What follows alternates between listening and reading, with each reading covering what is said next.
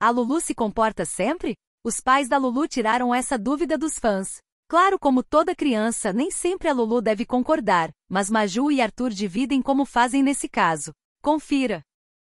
Nem eu me conforto bem sempre.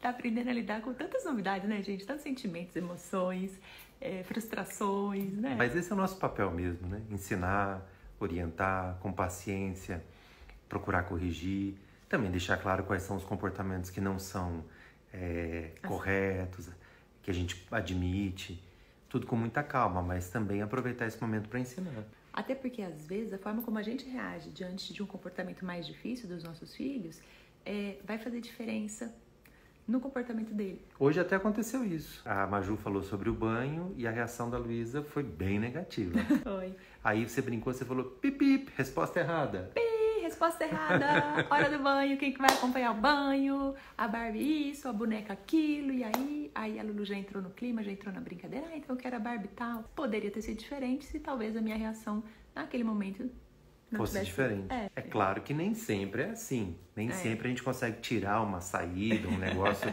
espetacular, divertido. É. Muitas vezes a gente está com pressa, muitas vezes a situação pede uma certa firmeza. É, mas eu já percebi assim claramente que a minha reação do Arthur influencia diretamente no comportamento dela. Na medida do possível, é. tentar sempre levar as coisas de uma forma e... leve. Muito bem. Paciência. Pi. Pi.